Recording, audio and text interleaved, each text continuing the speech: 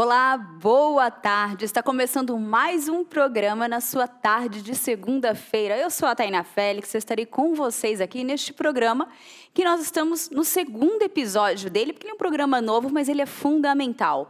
Teologia descomplicada, isso mesmo. A ideia é fazer com que a gente compreenda tudo o que for do nosso meio, né, do meio cristão, e de uma forma mais simples, de fácil entendimento. Aquelas dúvidas do dia a dia, aquelas dúvidas comuns que você às vezes usa e não tem consciência do que você às vezes está falando. E aí hoje nós vamos trabalhar isso de forma mais fácil. E o tema de hoje é: sorte e azar existem? Boa pergunta, né? Então, nós vamos falar sobre isso e quem vai nos ajudar a compreender melhor esse assunto é o pastor Antônio Costa. Ele apareceu ali bem rapidinho, né? Mas eu vou apresentá-lo antes para vocês. É o Antônio Costa, ele é casado com a Ingrid, licenciado ao Sagrado Ministério, trabalha na Igreja Presbiteriana de Geisel, em João Pessoa, na Paraíba, formado em Teologia pelo Seminário Juvep e pós-graduando em pregação. Olá, pastor, boa tarde, tudo bem?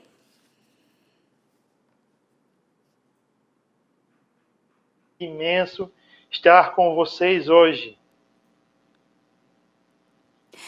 Pastor, eu estou com um retorno bem baixo. Peço desculpas porque eu não consegui compreender um pouquinho o que o senhor falou, mas eu vou pedir para que o senhor repita para que eu possa ouvir. Me perdoe. Me perdoe. E, e antes, ah, agora sim. E que bom, né? Essa tecnologia nos possibilita, né? Estarmos distantes, mas bem próximos também ao mesmo tempo. Se o senhor pudesse apresentar novamente, por gentileza, pastor. Graças paz, meus queridos irmãos. É um prazer imenso estar com vocês nessa tarde, participando desse programa. Eu quero agradecer desde já pelo convite. É um privilégio maravilhoso mandar ah. desde já um abraço para os irmãos da igreja do Geisel. Um forte abraço também a todos vocês. Ai, que bom, que bênção, que maravilha. Então, a você que está nos assistindo, fica aí, porque hoje o tema está muito interessante, né? E nós vamos começar com aquela perguntinha, né? E falando assim, nós aliás, só para situá-los, o nosso tema, né, esse tema que nós vamos trabalhar aqui, nós estamos nos baseando também, tive como auxílio o livro do Augustus Nicodemos, que fala sobre o cristianismo descomplicado, né? Porque a ideia é a gente ir por essa linha e ele aborda esse tema em um dos né, num dos textos dele, ele fala justamente sobre isso. E ele aponta que existem diferenças, é, uma, uma, diferentes formas né, de uma pessoa ver o mundo. É, o senhor poderia nos falar um pouquinho sobre essas cosmovisões, explicar assim para quem está em casa, que está nos assistindo, consiga compreender o que seriam essas diferentes formas, né, de uma pessoa ver o mundo? O que seria essa cosmovisão, né, que muitos a gente escuta falar, né? Mas o senhor pode nos explicar, pastor? Tá ok. É o seguinte, é, como nós é, enxergamos o mundo? Como as pessoas não crentes enxergam o mundo? Uhum. as pessoas que não compreendem o evangelho ainda têm duas visões, basicamente. A materialista, nas quais ela, na qual ela acredita que não existe nada além de uh, o que vemos, o que nós vemos. Então, para elas, todos os, todos os acontecimentos são, são é, resultados da, na, da, das coisas naturais do mundo. Não existe o sobrenatural. Então, uhum. o fato de estar triste ou alegre é simplesmente uh, as coisas darem certo ou errado, é consequência das ações uh, promovidas pelo agora, pelo mundo físico que vemos. Uhum. O segundo modo que as pessoas enxergam o mundo seria uma visão mais maniqueísta, a ideia de uma batalha entre o bem e o mal. Nessa ideia, não é que o bem seja superior ao mal, mas que essas duas correntes vivem se degladiando. Então, na, no nosso Brasil, o que seria o bem? Deus. O mal seria o diabo. Então, Deus e o diabo estão nessas guerras, e quando Deus vence, algo bom acontece em sua vida. Quando o diabo vence, as coisas ruins acontecem. E uhum. tem a nossa visão cristã, visão fundamentada na Bíblia, que acredita que Deus governa todas as coisas. Deus é, decreta tudo o que vai acontecer na história. Então, ela, a, a história ela não é controlada pela materialidade e tampouco existe uma batalha entre Deus e o diabo. Deus é soberano, ele determina como as coisas irão acontecer e elas acontecerão. Uhum. É, pastor, assim, nós podemos então de uma forma clara dizer assim, vamos lá, o materialista seria aquela pessoa que o mundo, né, as pessoas conseguem, dizem assim, ah, é uma pessoa mais racional, que aí para alguns é uma pessoa mais direta, é, não vai chorar com facilidade, é uma pessoa mais firme, porque ele acredita que se foi daquele jeito é porque tinha que ser, ele é mais palpável, seria isso? Só para a gente. O, o, o, materialista ele não acredita em nenhuma influência espiritual no mundo. Então, hum. Então, assim, para ele, uh, as coisas acontecem por conta da, da, das ações do, do que ele vê no momento, entendeu? Uhum. Ou do, de, de fatos físicos que determinaram, sei lá, porque uma tragédia natural aconteceu, porque uma pedra um, houve um abalo sísmico no mar e isso de, é, fez com que houvesse uma tsunami. Essa é a única explicação. Uhum. É, por exemplo, por que o coronavírus existe? Um, um vírus que se desenvolveu na natureza e que chegou até o ser humano. Como Sim. nós cristãos enxergamos? Deus tem controle sobre as tragédias, sobre as bênçãos que sobrevêm à humanidade, e uhum. até mesmo essa pandemia não é controlada por simples atos científicos. É Deus que está reinando. Uhum. Entendi. E o maniqueísta, eu acho que entra mais aquela visão daqueles mais é, espiritualizados, seria aquela, aquelas culturas, né, que mais voltada para o misticismo, uma coisa assim, de tipo de ver um Deus que ele é bom, ele é Deus da bondade e o diabo ele só é cada um no bem e do mal, cada um rei no seu, mas que não interfiram um ao outro e que tipo vamos ver quem vai vencer, o bem ou o mal, mais ou menos isso.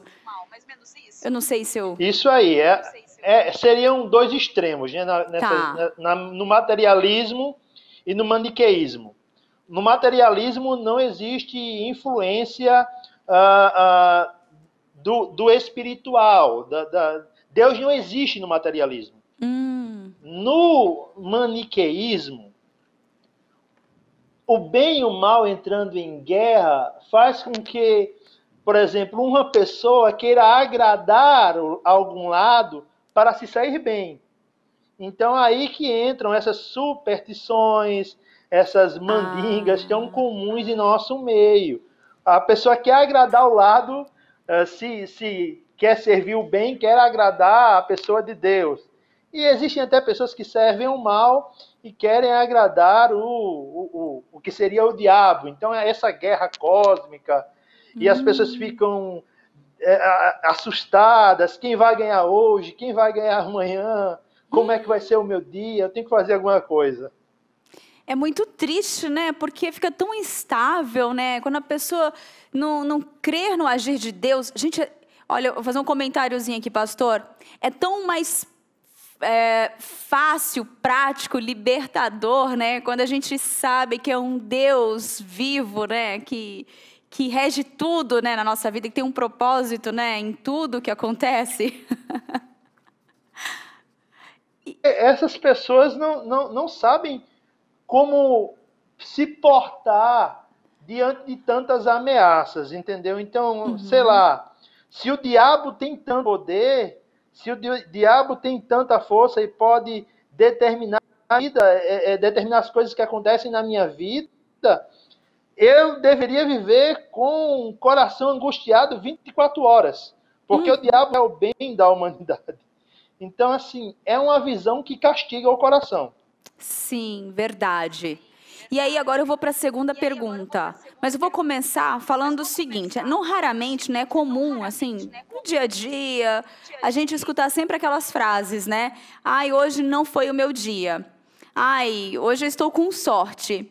Hoje é, eu acho que é o meu dia. Hoje eu comecei bem com o pé direito. E ah, eu acho que eu estou numa maré de azar, né? É aquela história assim que você vai fazendo as coisas e aí você acha que você tem frase para pontuar e você acredita que aquilo ali está de um jeito regendo a sua vida naquele dia, né? E aí a pergunta é: por que não podemos afirmar que temos sorte ou azar, tendo em vista a cosmovisão cristã, pastor? Pastor. Deixa eu, eu começar essa resposta com um, um exemplo simples. Imagine aquele dia, seu despertador não toca, você sai atrasado para o trabalho, pega o ônibus lotado, não leva guarda-chuva, chove, você chega todo ensopado. Quem não teve já um dia assim? Quase todo mundo. Ou que chegasse perto. E aí o que a gente vai dizer? Poxa, será que hoje o mal está reinando em minha vida? Não. Só foi mais um dia difícil nas, nas nossas vidas. Agora imagine um dia que o sol brilha, que você consegue dar, fazer todas as coisas corretamente. Uhum. Mas aí você é desonesto, você peca, você quebra os mandamentos do Senhor, será que no final desse dia você pode dizer que foi o seu dia? Certamente não. Porque, embora as coisas aos seus olhos tenham dado certo, você quebrou a lei do Senhor e desagradou a vontade dele. Então, uhum. não é porque as coisas dão certo e errado que existe sorte ou azar. O que nós cremos? Deus está governando todas as coisas. Uhum. Ele é soberano quando o dia é um dia mau, ele ainda continua sendo bom. Quando o dia é um dia perfeito, eu devo glorificá-lo da mesma forma que o dia mau. Eu não faço nenhuma superstição, eu não creio que o acaso determinou, que foi porque eu vi um gato preto ou passei por debaixo de uma escada que as coisas aconteceram o chinelo virado. Virado. São tantas é coisas. Triste. Oi, pastor. Eu falei, são tantas coisas que a gente cresce ouvindo, né? E a gente escuta com uma naturalidade. E muitas vezes aquele comentáriozinho até no meio cristão, muitas vezes, né? De uma forma espontânea e natural e que alegam-se ser a parte cultural, né? Da, daquela região, daquele determinado local, assim. Mas é, é, muito, muito bom a gente esclarecer isso, né? A gente falar sobre isso, ter essa oportunidade, ainda mais com a internet, né? Que, que alcança tantas vidas, né? E a gente tentar, de uma vez por todas, é, tirar isso da nossa mente, né? Nos libertar, né? Dessas... Pois é, assim, a gente vive em, um, vive em um país que é místico por natureza. Então, uhum. Então imagine, você cresce nessa cultura e aí você tem medo de derramar sal, você tem medo de, ah, sei lá, deixar, como você falou, o chinelo virado, você tem medo da sexta-feira 13. Isso não é bíblico, isso não, não é procedimento de um cristão. Uhum. Deus, ele ele não, se de, não deixa essas coisas governarem o mundo. Não existe sorte ou não, e tampouco existe azar, sabe? Você não precisa olhar seu horóscopo para sair de casa. O que você precisa para desfrutar de uma vida que glorifica a Deus e que por glorificar a, Deus é feliz é crer na Bíblia. Se você uhum. tem e você, a Bíblia como seu livro de consulta você vence essas mistificações da nossa sociedade. Uhum, exatamente. Ai, que lindo ouvir isso. e aí, nós meio que respondemos, né, já aqui na nossa conversa, é, Acho que nós já falamos né, sobre as superstições, né? Nós acabamos falando de sorte e azar, mas também falamos um pouco das superstições, né? Como podemos explicar o que é uma su superstição? Eu acho que para ficar bem claro e, e alguns exemplos, nós acabamos falando aqui um pouquinho, né? Mas eu acho que o porquê da superstição, né? Por que, que ainda existe isso assim, é tão forte, pastor? Olha, é, o ser humano, pós-queda, ele ou seja, deixando ainda mais simples, depois que Adão pecou, é, o ser humano quer ter o controle do mundo. Hum. Acreditar em superstição, acreditar em que você pode influenciar o seu destino, é, é, no sentido de que você determina as coisas, é só uma característica da queda, do que aconteceu no Éden. O homem ainda pensa, eu posso fazer isso e posso controlar todas as coisas. É ilusão, sabe? Não é uma chinela virada que vai trazer uma tristeza para você. Não é, sei lá, colocar uma folhinha de arruda na, na cabeça que vai trazer sorte, sabe? As coisas não são guiadas desse jeito. Quando nós nos deixamos guiar por sorte e por azar, nós sofremos porque não estamos é, é, usufruindo da maravilhosa doutrina que nos ensina que há um Deus soberano, justo e bom, governando todas as coisas. Não há para que é, não há qualquer motivo para que você venha fazer mini bruxarias para governar ah, o seu humor e, e, e os acontecimentos da sua vida. O que você precisa mesmo é conhecer o Deus que reina. Uhum, é verdade. E aí eu tenho uma perguntinha aqui também, pastor. Na sua visão, é, existem versões evangélicas de superstição, né? De superstições assim? E se por acaso tem, né? O que a superstição mostra o que o cristão tem? Não tem. É, tem muito, infelizmente sei lá, você. Antigamente o pessoal colocava o, o, o playback para cantar e quando o playback não tocava dizia que era o diabo, sabe? O diabo está operando lá no som. Já ouvi isso. Bem, não, é, não, não era o diabo, era o CD que estava com falha. Então, assim, é, irmãos que colocam o copo d'água índia em cima da TV, irmãos que compram ah, algum tipo de aparato ah, místico, sabonete, rosa, sabe? A gente só colocou termo, termos cristãos nela, mas ainda são superstições. Isso uhum. revela uma completa insegurança, uma completa falta de fé em quem faz essas coisas, em quem pratica esses atos. Uhum. Não um cristiano não deve investir o seu dinheiro ah, para que tenha sorte. Isso não é bíblico, sabe? É, na realidade, Isaías, o final do capítulo 8 de Isaías, nos fala que em um dado momento a, a nação de Judá foi procurar magos, foi procurar artes ocultas, e isso os levou às trevas. É, é, eu acho que, se eu não me engano, Isaías 8, versículo 28. Uhum. Você já pensou? Você foi salvo pela luz do Evangelho. Você foi uh, transformado por Cristo. Uhum. Que Paulo vai dizer, nele todas as coisas se sustentam. E aí, todas as coisas não têm exceção. Ele governa soberanamente, Cristo reina soberanamente. Ele não precisa da sua ajuda comprando rosa, comprando sabonete, comprando qualquer outra coisa. Ele é um rei soberano que governa com majestade. Ele não precisa de auxílio no seu governo. Hum, que lindo. E pastor, me fala uma coisa assim.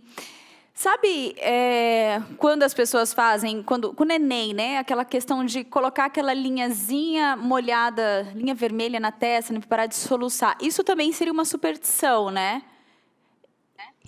É, não, há nada, não, não, há nenhum fato científico comprovado que aquela linha, a bendita linha, vai curar o soluço. É, são, aqui no Nordeste, nós temos muitos costumes dessa forma, sabe? É, uhum. Até é, frases cristãs. Ah, peça a bênção a seu pai e a sua mãe, senão você não vai ser abençoado. Isso não existe.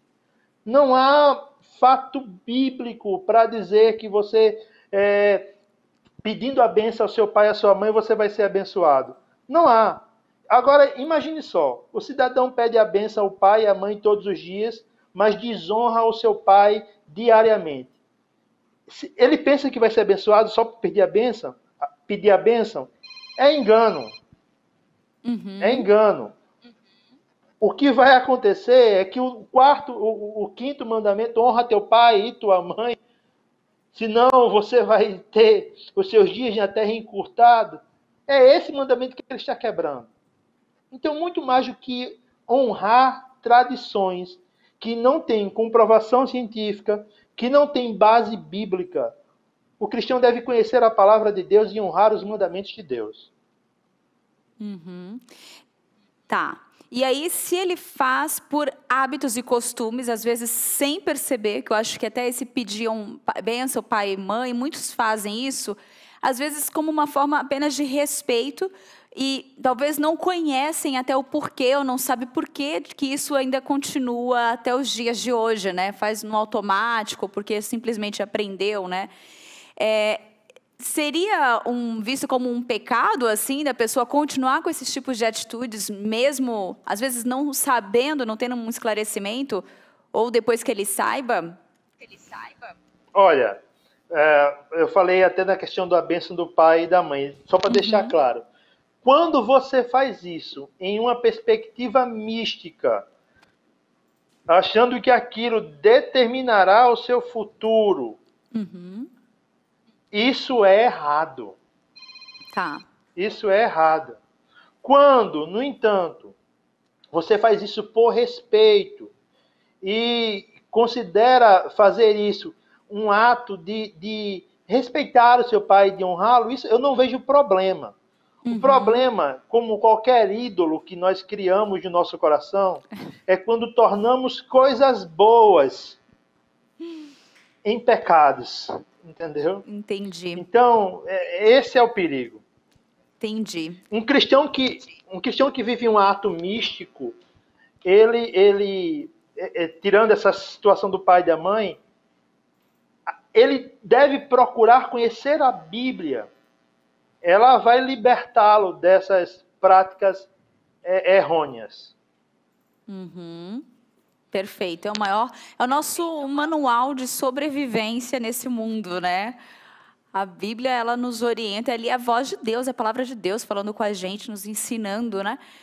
Não tem como não, não ir tratando mesmo, né, essas questões. E aí, eu venho aquela outra pergunta, às vezes se atribui a culpa de algo bom ou ruim que acontece na vida de determinada pessoa como uma sorte ou um azar, mas será que isso é verdade ou é uma reação das nossas atitudes? Poderia comentar um pouco sobre esse assunto para gente? gente? Veja só. Imagine uma pessoa que fumou por mais de 30 anos. E é aí, infelizmente, ela é diagnosticada com câncer no pulmão. Uhum. Foi, foi azar? De forma alguma. Ela foi alertada. Ela, ela tem, muito mais hoje, na época que vivemos, ela foi alertada. Fumar faz mal à saúde. Então, não, não foi um azar, foi uma consequência dos seus atos. A Bíblia vai falar tudo aquilo que o homem plantar, ele irá colher nesta vida ou na porvir. Então, nós não, não devemos pensar que nossos atos não têm consequência.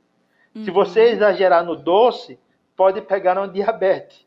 E não vai ser azar, vai ser consequência dos seus atos. Exemplo, uh, o cidadão não estuda o ano inteiro e quer tirar uma nota alta no Enem. Ele pode fazer todas as mandingas do mundo. Não vai descer um anjo na prova e vai dizer que é, é a, a, resposta é a letra B. Uhum. Então, ao invés de buscarmos ah, desculpa na sorte ou no azar para as coisas que acontecem em nossa vida, nós devemos sondar a nossa vida com sabedoria à luz da palavra de Deus, ver as nossas ações e ver como essas ações, por vezes, determinam os fatos tristes e também os fatos felizes que temos em nossa vida. Uhum. É, uma, aqui entra aquela questão, né? Nós temos hoje a lei, né? Que nem um exemplo que podemos dar é a questão até do dirigir, né? Você bebe um pouquinho ali com alguém, tá bebendo e aí você vai dirigir e aí acontece, né? Aquela um acidente e você pensa, poxa, mas eu já dirigi tantas vezes, mesmo depois de beber o que aconteceu, que falta de sorte a minha, justo hoje, né? A gente sempre coloca no justo hoje. A gente está anos, às vezes, com práticas errôneas, né? E aí, no dia em que acontece uma correção, de que vem a situação, vem à tona, a gente fala, mas justo hoje, a gente sempre, o ser humano sempre quer, um, às vezes, um tempo a mais, né? Dá essa sensação, né? De, de poder continuar praticando aquilo sem ter consequências, né? Sabe Adão lá no jardim, quando ele, depois que Deus vai ao encontro dele e pergunta o que, o que foi que você fez? É, uhum. Ele diz, olha, foi a mulher que você me deu. Esse justo hoje é essa, é essa justificativa modificada. Só hoje, mas por quê? Que azar! Ah, foi um inconse... foi um, um, uma inconsequência, foi só uma vez. Não, querido, você tem que ver que as suas ações os seus pecados colocam você na berlinda. E você será cobrado se ferir a sociedade pelas autoridades. E lembre-se, você será cobrado por uma autoridade maior, Deus. Então não justifique o seu pecado com sorte ou azar. Uhum. É melhor confessar o pecado e encontrar graça. Exatamente. E, e, pastor, qual que é a diferença entre um evangélico apegado a essas crenças e um descrente que ele é preso a outras superstições para tentar de qualquer forma conseguir uma sorte para si mesmo? Nenhuma. Mas nenhuma. Desculpe, você... nenhuma. Tem que ser direto nessa situação. Veja só, um crente que vive nessa prisão da superstição, e, e, e, a palavra, embora seja pesada e triste, é essa, essa prisão de, de viver é, é, subjugado à sorte ou azar e fazer todo o possível que pensa estar em suas mãos para que consiga alguma coisa, e um descrente que não conhece a Deus. Ah, não há nenhuma diferença entre os dois. Na realidade, há um peso maior para o crente. Hum. Você sabe, a quem muito é dado, muito será cobrado. cobrado. Imagine, o ímpio não tem conhecimento de Deus e pratica essas coisas. O crente desfruta do pacto com o Senhor. Se ele pratica essas coisas, desfrutando do pacto, ele será ainda mais cobrado. Então, não adianta deixar, por exemplo, a Bíblia, usar a Bíblia como instrumento de superstição, deixando ela aberta em casa, pensando que isso vai afugentar os maus espíritos. Ao invés de deixar a Bíblia aberta em casa, parada e levando poeira, leia a Bíblia. E aí você vai compreender que isso que você tem tanto medo, esses receios que por vezes maltratam o teu coração, eles não dominam a história. Uhum. Deus é soberano. É uma frase tão comum no meu reformado que qualquer cristão presbiteriano sabe dizer, mas a gente tem que falar a frase, crer na frase e viver debaixo da frase. Deus é soberano. Amém. Pastor, nós temos algumas pessoas estão interagindo aqui com a gente. Aliás, nós temos várias pessoas que estão participando hoje com a gente. E aí veio um comentário da, do Elionai Costa. Ele falou assim: seria interessante eh, elucidar um pouco dos episódios que falam em sorte no Antigo Testamento, nos métodos usados pelos sacerdotes para obter a direção de Deus. Aí ele até usou o exemplo do, uh, do Urim Tumim, né? É, temos mais alguns outros que nós poderíamos citar ou falar disso também alguma passagem? Uma passagem? É, a ideia de lançar a sorte no Antigo Testamento, a gente deve pensar bem nisso. Primeiro, era um mandamento de Deus. O sacerdote deveria consultar o Urim Tumim para descobrir a vontade do Senhor. Uhum. Era na, na, na aliança mosaica, na aliança da lei. E o Urim Tumim não era determinado pelo acaso, como se crê em sorte e em azar. Quem determinava ali era o Senhor. Eles consultavam o Senhor. Uma coisa eu, é, à época, conhecer um mandamento do Senhor que deixava claro que o sacerdote poderia consultar Urim e Tumim e viver debaixo disso à época. E outra coisa é hoje, com toda a revelação bíblica, com todo o, a revelação de Deus deixada para nós, eu pensar que o mundo é governado pelo acaso. Nós não precisamos mais de Urim nós temos a plena e completa revelação em Cristo. É muito melhor. E, e, e acima de Urim, de Urim e Tumim hoje está a revelação completa da palavra de Deus. Então era, era outra época, com outras. Era, era outra é, parte da aliança, mas que quando ela é revelada completamente em Cristo, ela perde.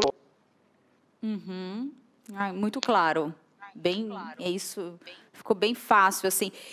E aí, nós vamos agora entrar numa outra questão. falamos de sorte, falamos de azar, não existe, gente. Esqueça isso, superstições.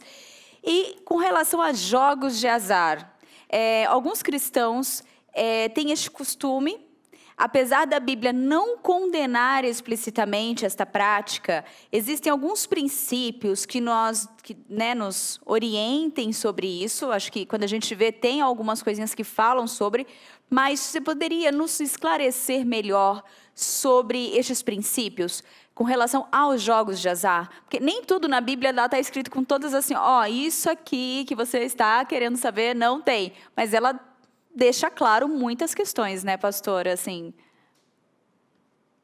Ela deixa o caminho, não é verdade? Uhum. Embora ela não deixe explícito, ela deixa. Nós aprendemos por inferência o que ela, é, é, ela deseja para nós.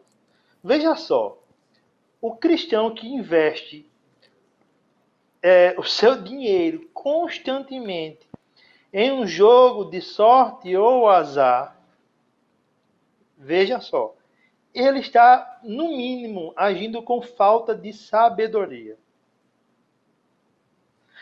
O seu dinheiro não foi o dinheiro que você recebe, né? E, e aí a gente tem a mania de dizer o meu dinheiro, quando na verdade Tiago vai dizer que toda boa dádiva, todo dom perfeito, descem lá do alto, do Pai das nuvens, em quem não há mudança nem sombra de do que você recebe de bom vem de Deus. Uhum. Então não diga seu dinheiro, diga o dinheiro que Deus tem te dado. Ele não foi dado a você para que você o investisse da forma errada, gastando é, constantemente ele em um jogo que não, não é, demonstra, não evidencia a sabedoria a, a, a bíblica. Uhum. Sabe, é, é, é isso revela também, pessoas que vivem jogando, um vício. E, e, e, qualquer vício, qualquer coisa que esteja tão intimamente em nosso ser que nós não podemos viver sem ela, é ídolo. Idolatria é pecado. Uhum. Então, você gasta o seu dinheiro errado, você pode ser é, é preso à idolatria, você uh, tem ideais que não são bíblicos quando joga, dinheiro fácil. Dinheiro fácil não é um, um, uma é algo não é algo que nós vemos na palavra do Senhor. Ao contrário, o que nós aprendemos é que trabalhar para ter o nosso sustento. Então, o cidadão que quer ganhar dinheiro fácil, ele está indo de encontro a, a, a, a, princípios estabelecidos na palavra de Deus. E dinheiro fácil, como vai dizer lá em Provérbios, vai fácil. Dinheiro fácil traz ganância. Dinheiro fácil traz preguiça. Veja só a enormidade de problemas que você traz ou que você procura com um simples, um simples bilhetinho da sorte. Exatamente. É, é que a, o, o, importante é a gente tá entender muito mais do que só a ação, né? Por, só, ah, é só um jogo, como o senhor mesmo disse, só um simples joguinho da sorte, né? Mas a gente entender o que está por trás de tudo isso, né? O que nos movimenta, o que trabalha no coração, aonde isso pode nos levar, né? É, e é, é isso que acho que a gente precisa compreender cada vez mais, né? Não só nisso, mas em, em tudo, assim, né? Eu, eu, eu, eu aconselharia o irmão que joga constantemente, e aí aproveitando sua fala, Thaís, que ele sondasse o seu coração. Qual é o motivo? Para que eu quero ganhar tanto dinheiro? É só para ser rico? Ah, eu vou citar no, no capítulo 1, vai dizer: olha, a riqueza se vai com o tempo. Uhum. Tiago vai dizer que ela é, uma, ela é uma rosa bonita pela manhã, mas que ao final da tarde ela vai. Uhum. A sua vida é curta demais para que você invista tanto tempo na, em jogos de azar e gaste seu dinheiro ah, ah, em coisas tão fúteis. Faça o seguinte: invista seu dinheiro no que vale a pena. Invista seu dinheiro na obra missionária. Uhum. Você vai trazer benefícios só para só para você mesmo ao investir em missões, você está investindo na obra de Deus para que pessoas conheçam o Cristo que salvou você. Ai, que lindo. O, o Elia, Elione, Elionai né, Costa, ele escreveu aqui também, eu, tô, eu já estou lendo todos os comentários dele, né? Ele escreveu, o grande problema não é um investimento só de dinheiro, mas é um investimento do coração. Né? Eu achei muito pontual. É verdade. João Calvino vai dizer que nosso coração é uma fábrica de ídolos. E você não precisa aumentar a produção dessa fábrica se viciando em jogos de azar. Então, uhum. diminua, combata os ídolos do seu coração. E eu acho que nós realmente, tanto na questão dos jogos de azar, quanto na questão da sorte, ou é, acreditarmos em sorte ou em azar, nós devemos sempre procurar, através da palavra de Deus, sondar o nosso coração. Muito bom. O cristão, pode o falar, cristão deve se lembrar, desculpa, que Deus julgará as intenções. Uhum. As intenções do coração. Isso é de arrepiar a alma. É de se preocupar muito, muito, muito, muito, muito mesmo. É, a Wanda Almeida, ela escreveu assim: Deus é soberano e supre as minhas necessidades. Então, para que eu vou praticar jogos de azar? Se Deus sabe do que eu preciso, né? Do que do que é necessário para eu viver, por que, que eu vou ficar buscando outros recursos, né? Se se Deus vai prover, Se, se o próprio Cristo falou que a nossa preocupação não deve ser quanto ao que comer, ao que beber e ao que vestir, por que investir tanto tempo em jogos de azar? Preocupe-se com o reino.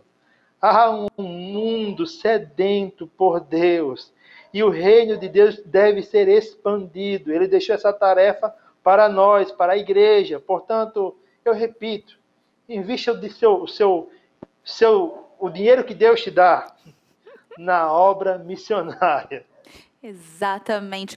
Eu estava lendo um trechinho de um livro hoje e ele falou uma coisa muito impressionante. Ela é óbvia, uma frase bem óbvia, mas parece que a gente às vezes precisa escutar para que aquilo vai trabalhando, né? Essa transformação, essa mudança no nosso coração. Que fala assim que para a gente, a gente aprende, a gente ama as coisas, é, ama as pessoas conforme a gente conhece ela. Aí ele citou o exemplo do casamento.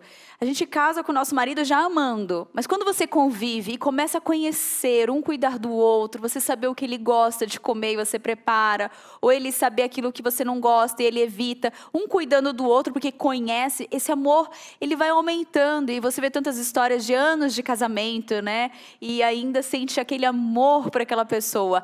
E assim é o nosso relacionamento com Deus. Quando a gente busca conhecer a Deus, quando a gente conhece verdadeiramente a Deus, lendo, buscando nas Escrituras, praticando aquilo que Ele pede para que a gente faça, né? E buscando por intermédio ou de literatura ou da palavra, né, no culto, o amor por ele também da gente, né, vai aumentando. Então as nossas dependências, nosso entendimento da nossa relação com Deus, também ela vai fortalecendo, ela vai crescendo, né?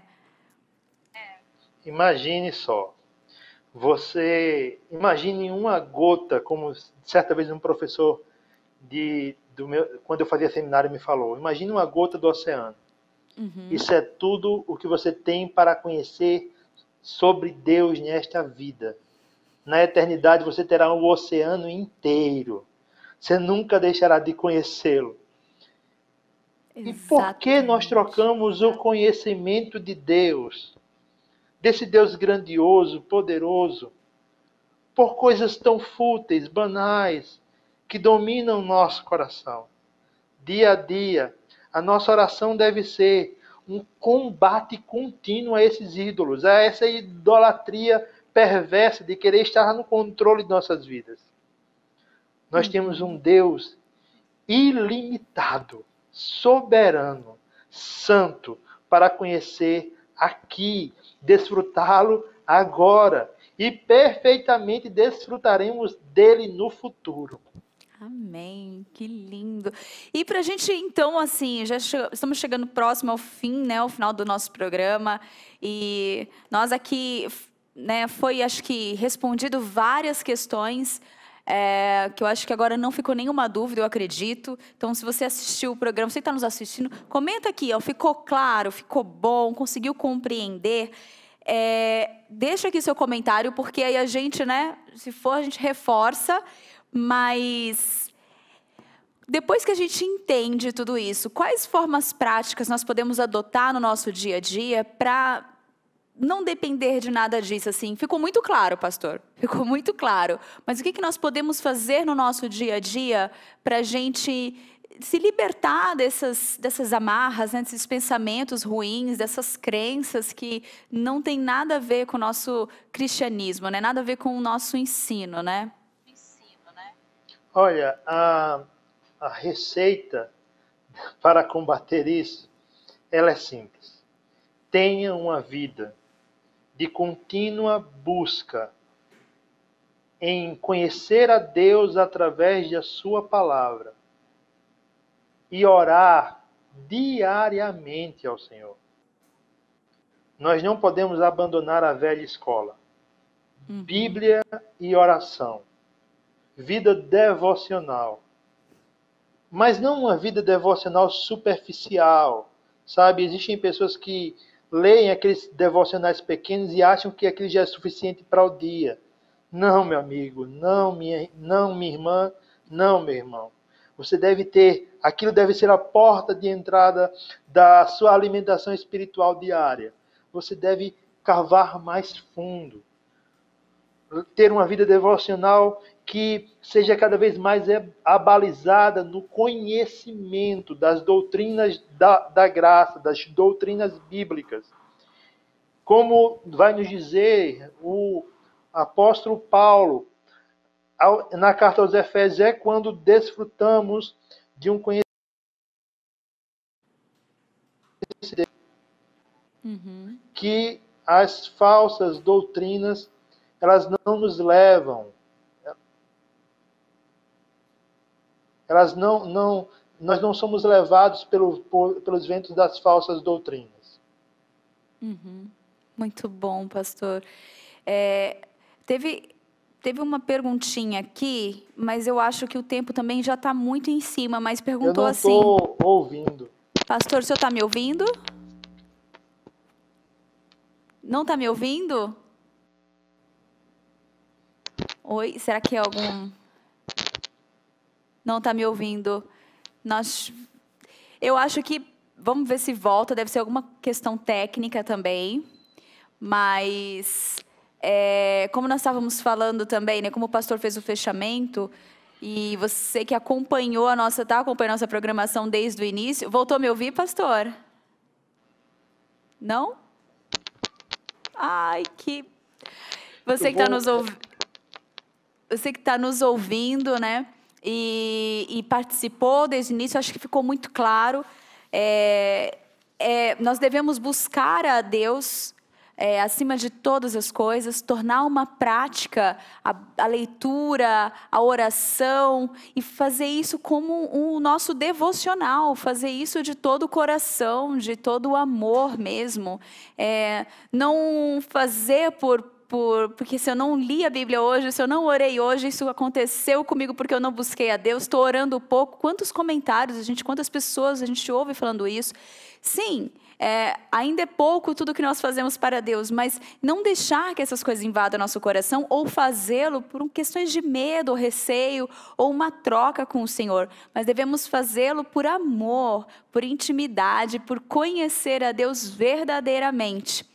É, eu acredito que nós não vamos conseguir, então, acho que retornar para falar com o pastor, é, mas eu agradeço muito a participação dele. Você que está nos assistindo, que entrou agora, nós falamos hoje sobre sorte e azar. Existem? E quem falou com a gente sobre esse assunto foi o pastor Antônio Costa.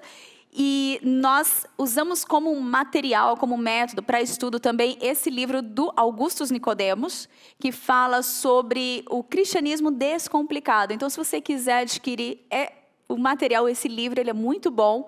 Ele, muitos temas que estão abordados nele, nós vamos trazer aqui no programa também, porque a gente entende que são temas que a gente pode falar sempre sobre eles e, e vai sempre é, trabalhar muito na nossa vida, no nosso dia a dia, por questões tão comuns que às vezes a gente faz sem saber muitas vezes, né? E a ideia aqui é a gente aprender. Eu aprendo com os nossos, sempre com os nossos convidados, e eu acredito que você também.